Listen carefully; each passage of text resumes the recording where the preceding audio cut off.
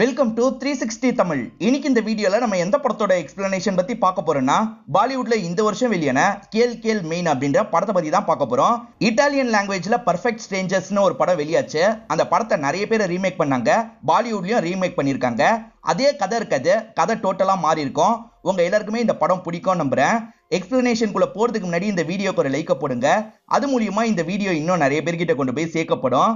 மேற்கொண்டு time waste பண்ணாம நம்ம நேரடியா எக்ஸ்பிளனேஷனுக்குள்ள போயிடலாம் ஸ்டார்டிங்கே ரிஷப்னு ஒருத்தரை காட்டுறாங்க. இவர் இவரோட ஊருக்கு போனோம். ஒரு ஃபங்க்ஷன் வேற இருக்கு. சீக்கிரமா கிளம்பணும் ஆனா இவர் லேட் பண்ணதுனால ஃபிளைட்டு போயிருது. சரி வேற ஃபிளைட்டை எப்படியாவது அரேஞ்ச் பண்ணிட்டு போயிடணும் அப்படின்ற மாதிரிலாம் இவர் யோசிக்கிறாரு. காதம்பரின்னு ஒருத்தவங்களும் ஃப்ளைட்டை மிஸ் பண்ணிட்டாங்க போல. வேற ஃப்ளைட்ல எனக்கு ஏற்பாடு பண்ணி தாங்கன்ற மாதிரிலாம் அங்க இருக்க பொண்ணு கிட்ட பேசிட்டு இருக்காங்க. அந்த பொண்ணு அதெல்லாம் கஷ்டம் அப்படின்ற மாதிரி பதில் சொல்லிட்டு இருக்கா. அப்பதான் இந்த இடத்துக்கு ரிஷப் போறாரு. நான் பத்து வருஷத்துக்கு மேல ஒரு நாய் வளர்த்துட்டு இருக்கேன். நான் இல்லாம ரெண்டு நாளா அந்த நாய் சாப்பிடலையா? நான் போனதான் சாப்பிடும். ப்ளீஸ் ஏதாவது ஃபிளைட் இருந்தா அரேஞ்ச் பண்ணுங்க அப்படின்ற மாதிரிலாம் கேட்கிறாரு இவர் கேட்டனும் உடனே இந்த பொண்ணு இருக்காங்கல்ல பயங்கரமா ட்ரை பண்றாங்க. அப்படி ட்ரை பண்ணவங்களுக்கு ஃபிளைட் கிடைச்சிருது. இவர் பக்கத்துல இருக்க காதம்பரிக்காகவும் பேசுறாரு. அதனால ரெண்டு பேருக்கும் டிக்கெட் ஏற்பாடு பண்ணி தந்துடுறாங்க. நம்ம ஹீரோவை பொறுத்த வரைக்கும் பிளாஸ்டிக் சர்ஜனா இருப்பாரு. ஹீரோ தானே பேசி டிக்கெட் வாங்கி தந்தாரு. பக்கத்துல இருக்கவங்களும் இவருக்கு நன்றி எல்லாம் சொல்லிட்டு இருக்காங்க. இப்பதான் ஹீரோக்கு வீட்டுல இருந்து ஃபோன் கால் வருது. இவங்க ஹீரோவோட செகண்ட் ஒய்ஃப் போல எப்போ வருவீங்க? ஃப்ளைட்டை கரெக்டான டைம்க்கு வந்து ஏறிட்டீங்களா? அப்படின்ற மாதிரிலாம் கேட்டுட்டு இருக்காங்க. அதெல்லாம் கரெக்டான டைம்க்கு வந்து ஏறிட்டேன் அப்படின்ற மாதிரி இவர் சொல்றாரு. இவர் சொல்றது பொய் தானே? என்ன பொய் சொல்றாரு அப்படின்ற மாதிரி காதம்பரி கவனிச்சிட்டு இருக்காங்க. இப்ப இவர் ஃபோன் பேசி முடிச்சோன்னே இவர்கிட்ட பேச ஆரம்பிக்கிறாங்க. அடிக்கடி ஒய்ஃபு கிட்ட பொய் சொல்லுவீங்க போல அப்படின்ற மாதிரி கேக்குறாங்க. ஆமா என்னோட ஃபர்ஸ்ட் ஒய்ஃபு கிட்டயும் பொய் சொல்லுவேன் செகண்ட் ஒய்ஃபு கிட்டயும் பொய் சொல்லுவேன். ஏன்னா பொய் சொல்லி தான் சில சுச்சுவேஷனை சமாளிக்க முடியும் அப்படின்ற மாதிரிலாம் இவங்க கிட்ட சொல்லிட்டு இருக்காரு. அதெல்லாம் விட்டு தள்ளுங்க. நீங்க நாயை பத்தி சொன்னதும் பொய் தானே. எப்படி பேசி டிக்கெட் வாங்குனீங்க அப்படின்ற மாதிரிலாம் கேக்குறாங்க. இவரை எப்படி வாங்கினாருன்றதா சொல்லிட்டாரு அந்த பொண்ணோட கீ செயின்ல நாய் பொம்மை இருக்கிறத பார்த்திருப்பாரு. அந்த பொண்ணுக்கு நாய்னா ரொம்ப பிடிக்கும்ன்றதை இவர் புரிஞ்சிருப்பாரு. அதுக்கேத்த மாதிரி பேசினா டிக்கெட் கிடைச்சிடும்ன்றதுக்காக தான் இந்த விஷயத்தெல்லாம் பண்ணியிருப்பாரு உண்மையிலேயே நீங்க கிரேட் அப்படின்ற மாதிரி இவங்களும் இந்த இடத்துல பாராட்டிட்டு இருக்காங்க. இப்ப ஈரோட ஒய்ஃபை நமக்கு காட்டுறாங்க. ஈரின் வீட்டுல க்ளீன் பண்ணிட்டு இருக்கும் போது ஒரு பேக்ல இருந்து காண்டம் பேக்கெட் விழுது. இவங்க பொண்ணோட பேக்கா தான் இருக்கும். அந்த பொண்ணோட பேரு அனன்யா அப்படின்றது. இவங்க பொண்ணு கிடையாது. ஈரோட பொண்ணா இருப்பாங்க. இப்ப பொண்ணு கிட்ட பேசுறதுக்காக ரூம் வந்துடுறாங்க இந்த மாதிரி எனக்கு காண்டம் கிடைச்சது. என்ன இதெல்லாம் அப்படின்ற மாதிரி கேக்குறாங்க. ஏன் இதுல என்ன இருக்கு அப்படின்ற மாதிரி பொண்ணு பதிலுக்கு பேசுறா. இவங்களால எதுவுமே கேட்க முடியல. எதுனாலும் நான் அப்பா கிட்ட பேசிக்கிறேன்ற மாதிரி அந்த பொண்ணு சொல்றா. மேற்கொண்டு எதுவுமே பேசாம இவங்க ரூமை விட்டு எந்திரிச்சு போயிடுறாங்க. இப்ப ஹீரோ இறங்குற இடம் வந்துருது போனை தேடிட்டு இருக்காரு.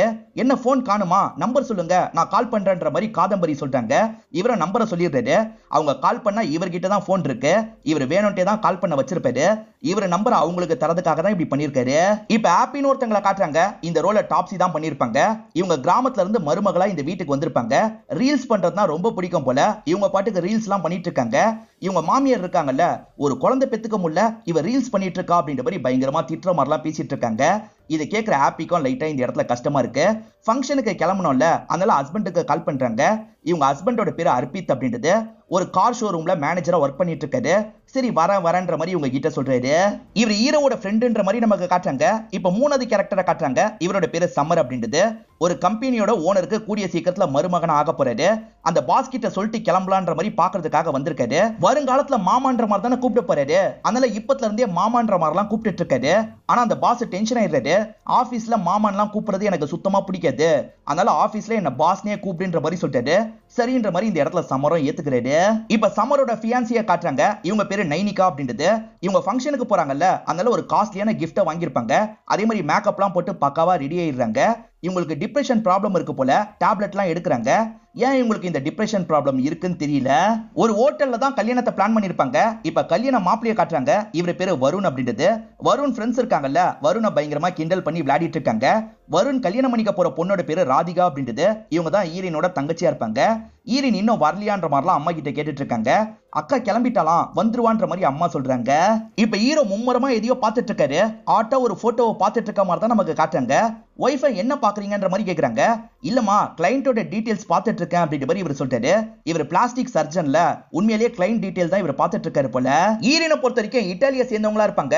ரெண்டு மூணு புக் எல்லாம் எழுதியிருப்பாங்க. கல்யாணம் முடிஞ்சதுல இருந்து தான் இவங்க புக் எழுதல. இதெல்லாம் நமக்கு இந்த இடத்துல புரிய வச்சிட்டு இருக்காங்க அப்படியே கட் பண்ணி இப்ப சமரம் நைனிகாவும் சேர்ந்து ஒரு கார்ல வந்துட்டு இருக்காங்க நைனிகா இவர்கிட்ட ரொம்ப கொஞ்சம் விளையாடிட்டு இருக்காங்க இவங்க ரொம்ப லவ் பண்றாங்க. ஆனா அப்பா மட்டும் கொஞ்சம் இவரை மட்டம் தட்டிக்கிட்டே இருக்காரு. இப்ப அர்ப்பித்தும் ஆப்பியும் சேர்ந்து வந்துட்டு இருக்கிறத நமக்கு காட்டுறாங்க. இவங்க கிராமத்துல இருந்து வந்த பொண்ணுல நிறைய விஷயங்கள் இவங்களுக்கு தெரியாது. அடிக்கடி இவர்கிட்ட கேள்வியா கேட்டுட்டு இருப்பாங்க கேள்வி கேட்காம கொஞ்சம் அமைதியா வரியான்ற மாதிரி இவரும் கோவப்படுறது இவங்க ரெண்டு பேருக்குமே நாலு வருஷத்துக்கு மேல குழந்தை இல்ல.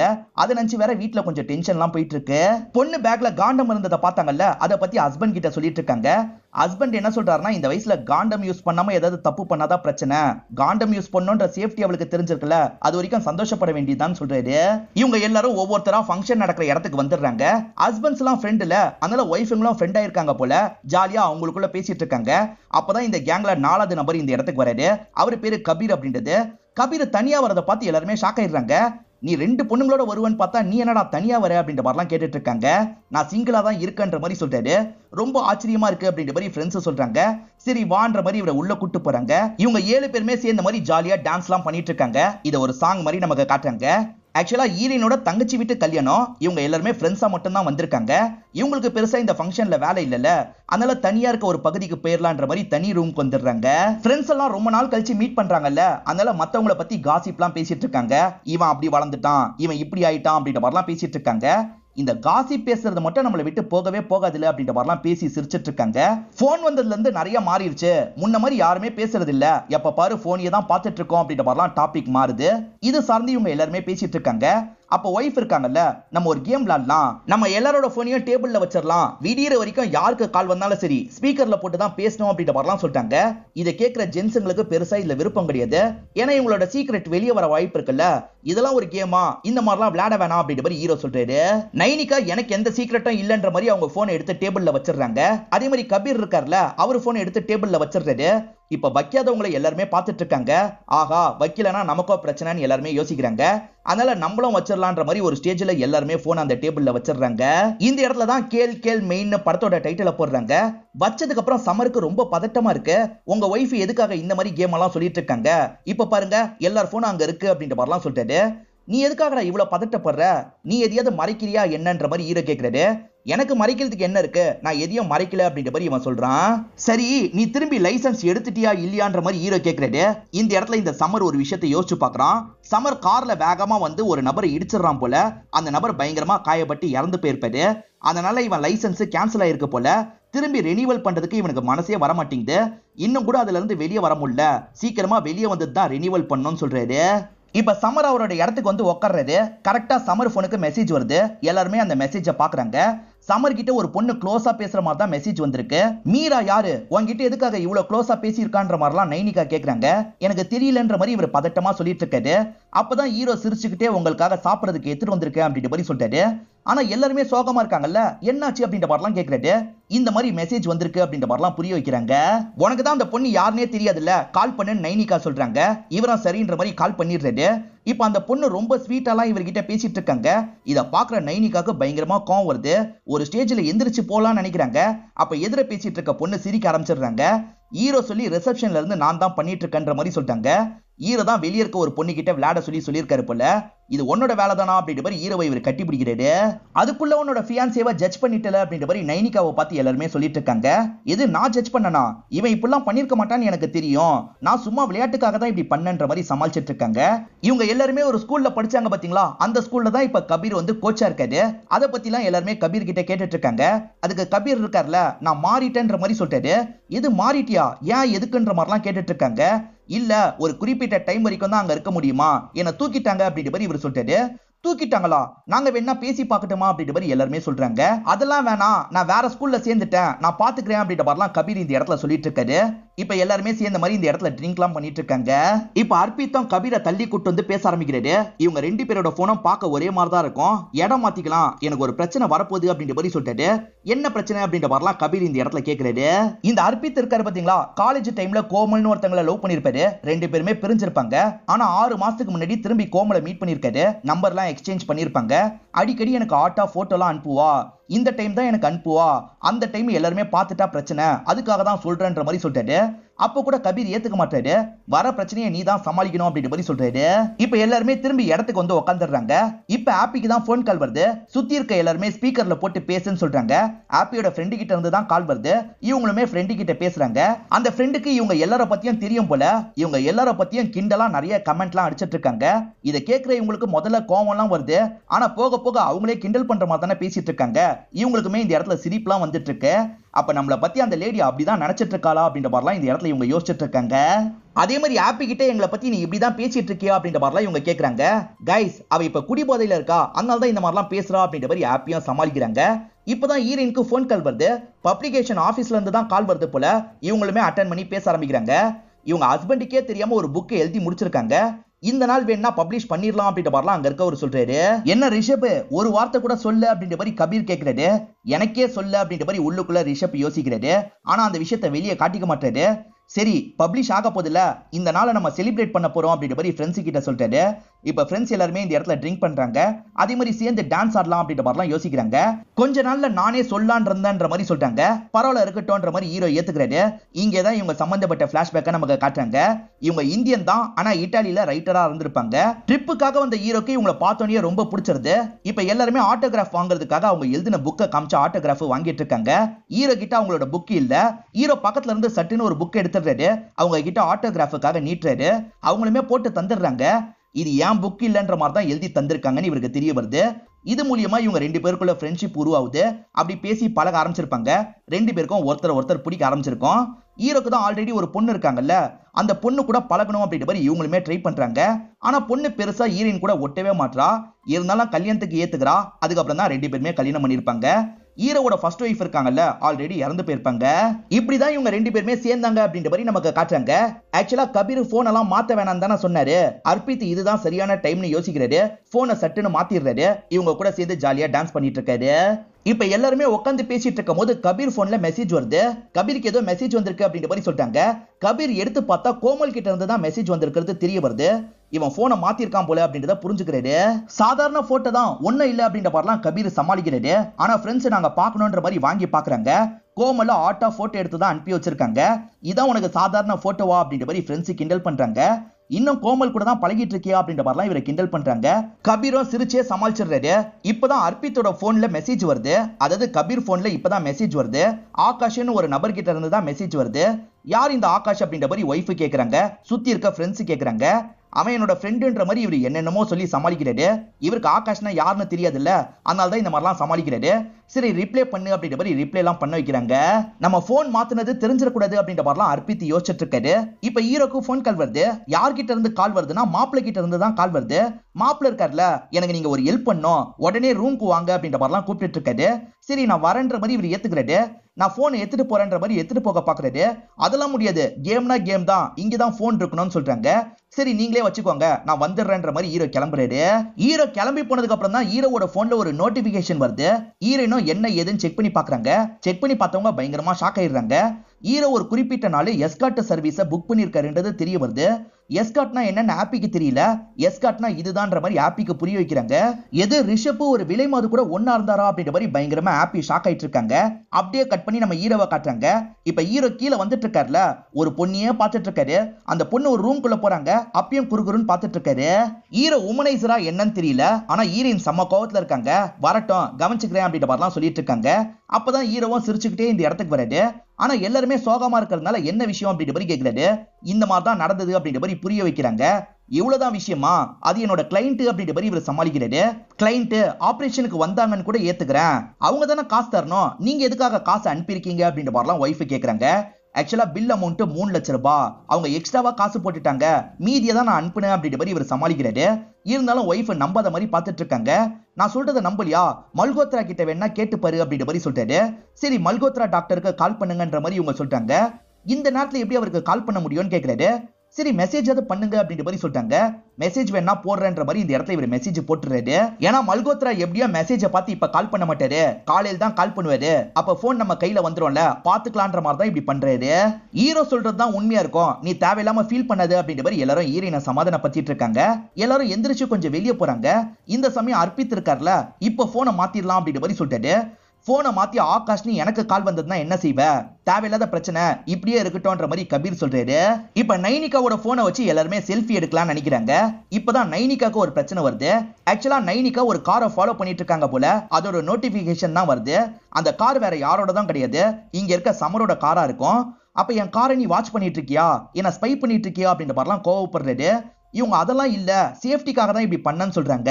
நீ சேஃப்டிக்காகலாம் பண்ண மாதிரி தெரியல. என்ன சந்தேகப்பட்டு தான் பண்ணிருக்க. எதுக்காக இப்படிலாம் கவனிச்சிட்டு இருக்க அப்படின்ற மாதிரி இவர் கோவப்படுறது ஆனா ஃப்ரெண்ட்ஸ் எல்லாம் சேர்ந்த மாதிரி இந்த இடத்துல சமாதானம் பத்திட்டு இருக்காங்க ட்ரிங்க தரலான்ற மாதிரி ஈரன் ட்ரிங்க ஊத்துறதுக்காக வந்திருக்காங்க. ஈரவும் ஹெல்ப் பண்ற மாதிரி இவங்க கிட்ட பேச்சு கொடுக்க ட்ரை பண்றாரு. ஆனா இவங்க அந்த விஷயத்துல கொஞ்சம் கோவமா இருக்காங்க போல. மல்கோத்ரா கிட்ட இருந்து கால் வரட்டும். அதுக்கப்புறம் எதுனாலும் பேசிக்கலான்ற மாதிரி சொல்றாங்க. இப்பதான் ஈரன் போனுக்கு ஒரு மெசேஜ் வந்திருக்கு. இப்ப எல்லாருமே மெசேஜை பாக்குறதுக்காக வந்திருக்காங்க. அந்த மெசேஜே இட்டாலியில தான் வந்திருக்கு. என்ன இட்டாலியில வந்திருக்கு? என்ன எழுதி இருக்குன்ற மாதிரி இவங்க கேக்குறாங்க. இவங்களும் டிரான்ஸ்லேட் பண்ணி சொல்றாங்க. அது ஒரு கவிதை மாதிரி தான் இருக்கு. ஆண்ட்ரூன்றவர் கிட்ட இருந்து தான் இந்த கவிதை வந்திருக்கு. இந்த ஆண்ட்ரூ யாருன்ற மாதிரிலாம் கேட்குறாங்க இவங்களுமே ஆண்ட்ரூ யாருன்னு சொல்ல ஆரம்பிக்கிறாங்க. இவங்க இட்டாலியில இருக்கும் போது அறுபது வயசுல ஒரு பார் அட்டெண்டர் இருப்பாரு. அவர் ட்ரிங்க்ஸ் ஊத்துறதெல்லாம் இவங்களுக்கு சொல்லி தந்திருப்பாரு. ஜாலியா இவங்க விளையாடி இருப்பாங்க. அவர்கிட்ட இருந்து தான் வந்திருக்குன்ற மாதிரி சொல்றாங்க. எல்லாருமே சரின்ற மாதிரிலாம் இந்த இடத்துல ஏத்துக்கிறாங்க. இப்பதான் ஹீரோக்கு பொண்ணு கிட்ட இருந்து கால் வருது. இவரும் ஸ்பீக்கர்ல போட்டு பேசுறாரு. அம்மா சொன்னாங்களா என்னன்னு தெரியல. நானே உங்ககிட்ட சொல்லணும்னு நினைச்சேன். நான் ரோகன் ஒரு பையனை லவ் பண்றேன். அந்த பையன் கூட ஒன்னாவும் இருந்துட்டேன். அவன் என்ன நல்லபடியா பார்த்துப்பான்னு நம்பிக்கை இருக்கு. உங்களுக்கு ஓகே தானப்பா அப்படின்ற மாதிரி பொண்ணு கேக்குறாங்க. அதுக்கு இவர் இருக்காரு பாத்தீங்களா? இவரோட லைஃப்ல நடந்த விஷயத்த சொல்ல ஆரம்பிக்கிறாரு. எனக்கும் பதினாறு வயசு இருக்கும் போது இந்த மாதிரி நடந்ததுமா? என்னோட அப்பா கிட்ட இந்த விஷயத்த சொன்னேன். என் அப்பா சொன்னதுதான் உனக்கு நான் சொல்றேன். இந்த வயசுல நல்லது கெட்டதெல்லாம் சரியா தெரியாது. இன்னும் கொஞ்சம் வயசு ஆனாதான் நமக்கு எல்லாமே தெளிவா தெரியும். அந்த வயசுல நீ ஏதாவது ஒரு முடிவு எடு. நீ அப்ப எடுக்கிற முடிவு சரியா தான் இருக்கும். அப்ப நீ என்ன முடிவு எடுத்தாலும் நான் ஏத்துப்பேன் அப்படின்ற மாதிரிலாம் இவர் சொல்லிட்டாரு சரிப்பான்ற மாதிரி பொண்ணும் ஏத்துக்கிறா. காலை கட் பண்ணிடுறா. இவர் பேசின எல்லா விஷயத்தையும் இவங்களும் கேட்டுட்டு தானே இருந்தாங்க. நீ சூப்பரா பேசுன அப்படின்ற மாதிரி ஈரவை எல்லாருமே பாராட்டிட்டு இருக்காங்க. இப்ப எல்லாருமே சேர்ந்த மாதிரி இந்த இடத்துல ட்ரிங்க் பண்ணிட்டு இருக்காங்க. இப்பதான் ஆப்பி போன்ல ஒரு மெசேஜ் வருது. அர்ப்பித் எடுத்து என்ன மெசேஜ்னு பாக்குறது? அது ஒரு ரிப்போர்ட்டா இருக்கும். என்ன ரிப்போர்ட்னு பாருன்ற மாதிரி ஹீரோ கிட்ட போனை தந்துடுறது. ஈரவும் என்ன ரிப்போர்ட்னு பாக்குறாரு? பார்த்தவரு ஷாக் ஆயிடுறாரு. வேற ஒருத்தரோட சீமனை வயிற்றுல செலுத்துறதுக்காக இவங்க அப்ளை பண்ணிருக்காங்க போல. அதுல ஒண்ணு மேட்ச் ஆயிடுச்சு அப்படின்ற மாதிரி தான் டாக்டர் சைட்ல இருந்து சொல்லியிருக்காங்க. இதை கேள்விப்பட்டோன்னா அர்ப்பித் இந்த இடத்துல டென்ஷன் ஆயிடுறாரு. என்கிட்ட இந்த ப்ராசஸ பத்தி நீ ஒரு வார்த்தை கூட சொல்ல. எதுக்காக இந்த மாதிரி ப்ராசஸ் பண்ணலாம்னு நினைச்ச? இது நம்ம குழந்தையா இருக்காது அப்படின்ற மாதிரிலாம் கோவப்படுறாரு. இந்த மெசேஜை மட்டும் நான் பார்க்கலனா இதெல்லாம் எனக்கு தெரிஞ்சிருக்காது. அது ஏன் குழந்தை நான் நினைச்சிருப்பேன். என்னை ஏமாத்த பார்த்துருக்கல அப்படின்ற மாதிரி பயங்கரமா கோவப்பட்டு இருக்காரு. இப்ப பதிலுக்கு ஆப்பியும் இந்த இடத்துல கோவப்படுறாங்க. இவங்களுக்கு தெரிஞ்ச ஒரு உண்மையை இந்த இடத்துல சொல்ல ஆரம்பிக்கிறாங்க. அர்ப்பித்துக்கே அர்ப்பித்து கிட்ட தான் குறையான்ற மாதிரி ஒரு டவுட் வந்திருக்கும். ஹாஸ்பிட்டல்ல செக் பண்ணி பார்த்திருப்பாரு. இவர்கிட்ட தான் குறை இருக்குன்ற மாதிரி ரிப்போர்ட் வந்திருக்கும். ஆனா இதை பத்தி ஒய்ஃபு கிட்ட ஒரு வார்த்தை கூட சொல்லியிருக்க மாட்டாரு. அப்படியே மறைச்சிருப்பாரு. உங்ககிட்ட குறை இருக்குன்னு தெரிஞ்சோம் ஹாஸ்பிட்டலுக்கு என்ன கூட்டு போற மாதிரி நீங்க நல்லா ஏமாத்திட்டு இருந்திருக்கீங்க. உங்க அம்மா வேற வார்த்தைக்கு வார்த்தை என்ன திட்டிக்கிட்டே இருக்காங்க. நான் எவ்வளவு பிரச்சனையை ஃபேஸ் பண்ண தெரியுமா? அப்படின்ற மாதிரிலாம் ஃபீலிங்கா அழுதுட்டு இருக்காங்க. இப்ப அர்ப்பித்துக்கு ஃபோன் கால் வருது. ஆகாஷ் கிட்ட இருந்து தான் கால் வருது. அட்டன் பண்ணும் அப்படின்ற மாதிரி எல்லாருமே சேர்ந்து அட்டன் பண்ணிடுறாங்க. நீ ஒரு கே அதை ஏன் புரிஞ்சுக்க மாட்டே நான் உன்னை லவ் பண்றேன் அப்படின்ற மாதிரிலாம் அந்த ஆகாஷ் சொல்லிட்டு இருக்காரு இது கேட்கிற எல்லாருமே ஷாக் ஆயிடுறாங்க. ஏன்னா அர்ப்பித்துக்கு தான் உண்மையிலேயே அது வந்திருக்குன்னு நினைக்கிறாங்க. அப்ப நீ கேவான்ற மாதிரிலாம் கேட்டுட்டு இருக்காங்க அர்ப்பித்தம் எப்படியாவது சமாளிக்கணும்னு நினைக்கிறாரு. நான் கேலாம் கிடையாது. அவனுக்கு என் மேல கே ஃபீலிங் இருந்திருக்கு போல. எனக்கு அதெல்லாம் கிடையாது. புரிஞ்சுக்கோ அப்படின்ற மாதிரிலாம் ஒய்ஃபை சமாதானப்படுத்துறாரு. அப்ப திரும்பி ஆகாஷ் கிட்ட இருந்து கால் வருது. உன்னை கிஸ் பண்ணதெல்லாம் நான் மறக்க மாட்டேன் அப்படின்ற மாதிரி தான் அவர் சொல்றாரு. இதை கேட்குற இவங்க இன்னும் ஷாக் ஆயிடுறாங்க. அப்ப அவனை கிஸ்லாம் வேற பண்ணிருக்கியா? பொய் சொல்லாது அப்படின்ற மாதிரிலாம் பயங்கரமா ஆர்பித்து மேல கோவப்படுறாங்க.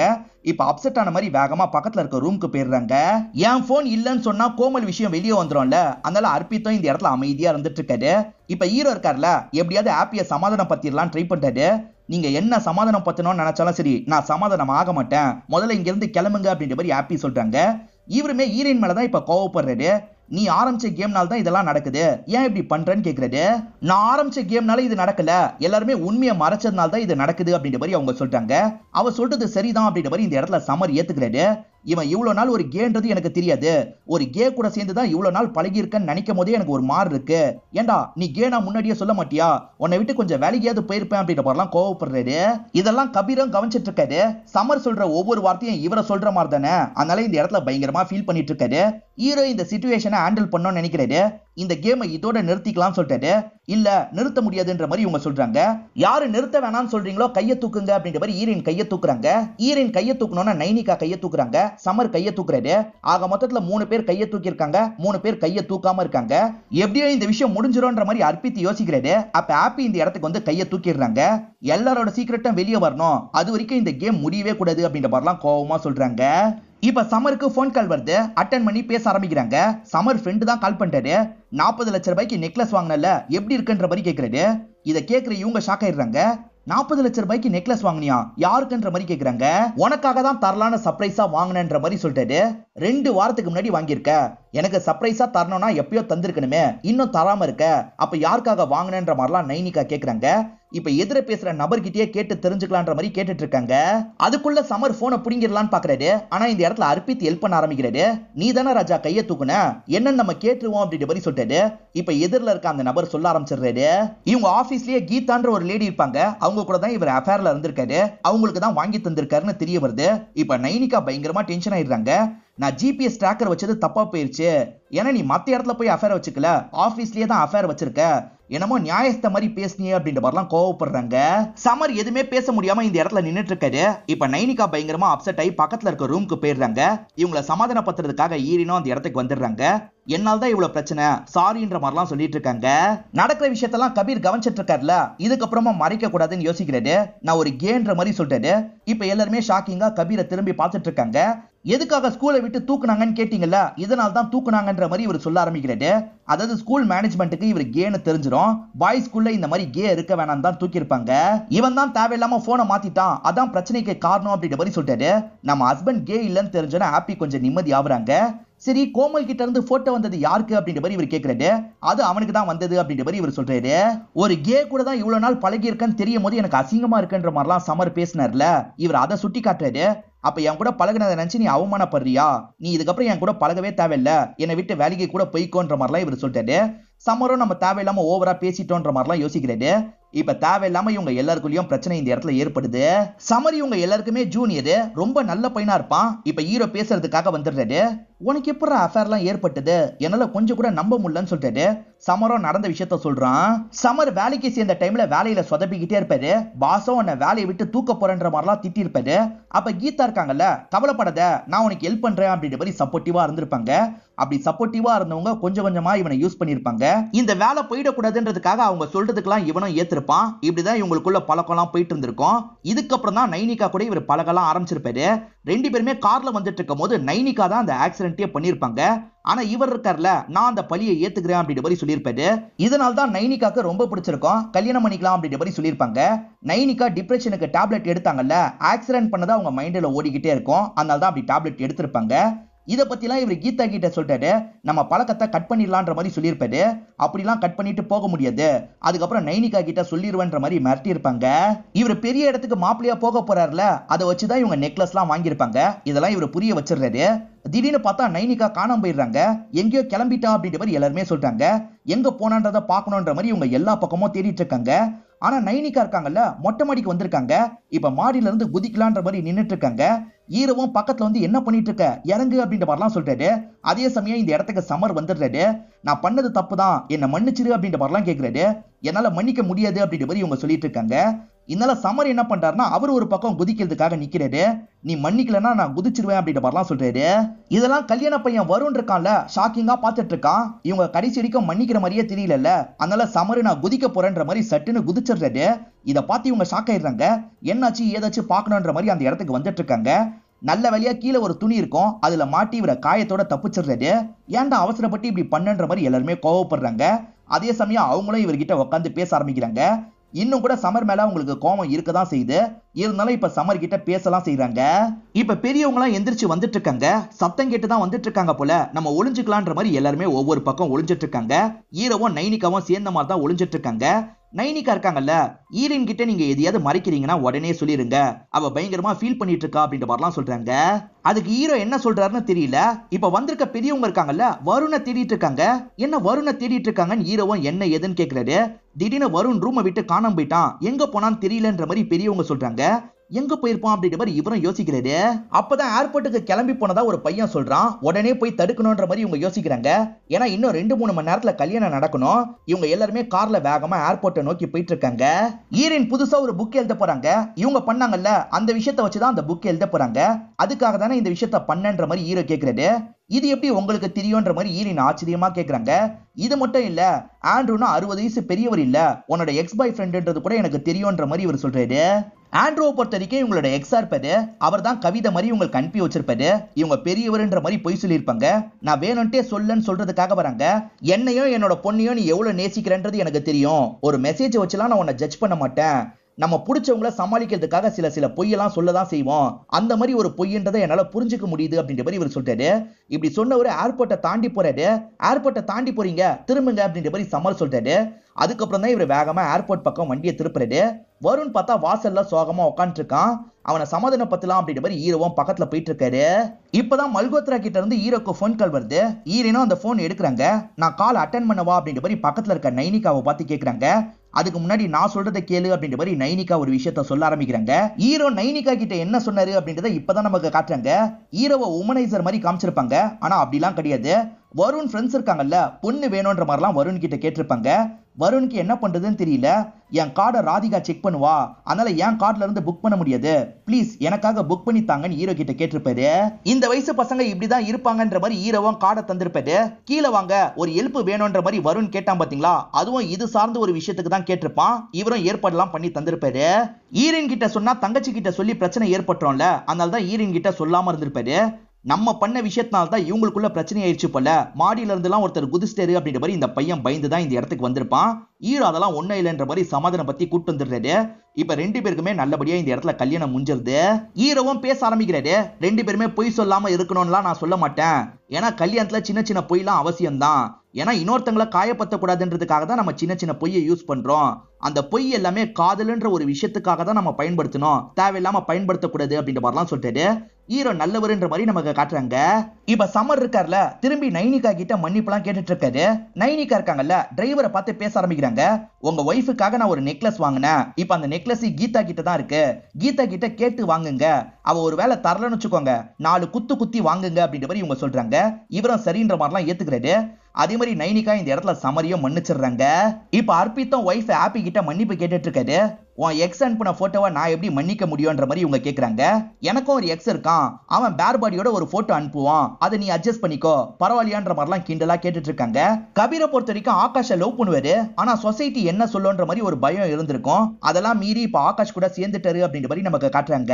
இப்ப ஈரேன் இருக்காங்கல்ல உங்களை சந்தேகப்பட்டு நான் பெரிய தப்பு பண்ணிட்டேன். என்ன மன்னிச்சிருங்க அப்படின்ற மாதிரி சொல்லிட்டாங்க. இந்த இடத்துல இவங்க ரெண்டு பேருமே ரொமான்ஸ் பண்ணிட்டு இருக்காங்க. அப்பதான் ஹீரோவோட போனுக்கு ஒரு மெசேஜ் வருது. யார்கிட்ட இருந்து வந்திருக்குன்றத நமக்கு காட்டுறாங்க. காதம்பரின்னு ஒரு லேடி கிட்ட ஃபிளட் பண்ணார்ல அவங்க ஒன்ன பத்தி தான் நினைச்சிட்டு இருக்கன்ற மாதிரி மெசேஜ் அனுப்புறாங்க. ஹீரோ உமனைசரா வேணா இல்லாம இருக்கலாம் ஆனா ஜொல்லு பார்ட்டி தான் அப்படின்றத கடைசியில கன்ஃபார்ம் பண்ண மாதிரி நமக்கு படத்தை முடிக்கிறாங்க. இந்த படம் உங்க எல்லாருக்குமே பிடிச்சிருக்கோம் நம்புறேன். இந்த வீடியோ உங்களுக்கு பிடிச்சிருந்ததுன்னா லைக் பண்ணுங்க கமெண்ட் பண்ணுங்க. மறக்காம த்ரீ சிக்ஸ்டி தமிழ் சேனலா சப்ஸ்கிரைப் பண்ணுங்க. தொடர்ச்சியா இந்த மாதிரி வீடியோக்கள் வந்துகிட்டே தான் இருக்கும்.